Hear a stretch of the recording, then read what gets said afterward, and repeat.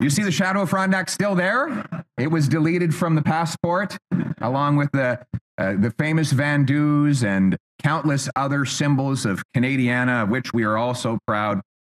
Justin Trudeau, of course, would like us to erase our past and cancel our future and replace it with the dystopia that now exists in this country after eight years of his government, where the cost of living is rising faster than at any time in modern memory. Work doesn't pay. Interest rates are rising faster than ever in monetary history. Housing costs have doubled. Crime, chaos, drugs, and disorder are common in our streets. And what does he want to do about it? He wants to quadruple the carbon tax to 61 cents a liter. He does this while he jets around the world, while his environment minister goes to Beijing.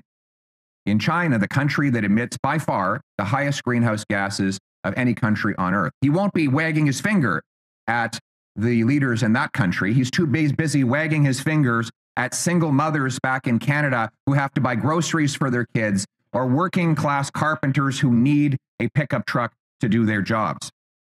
And when they do their jobs, work doesn't pay. They earn an extra dollar, and with clawbacks and taxes, they can lose 80 cents of that dollar. We punish hard work in this country after eight years of Trudeau. You don't bring it home. In fact, increasingly, Canadians do not have a home at all. Housing costs have doubled. Rent is doubled. Mortgage payments have doubled. The cost of a down payment needed to buy a home has doubled. It has been double trouble after eight years of Justin Trudeau. You know, the good news is life was not like this in Canada before Justin Trudeau, and it won't be like this after he's gone.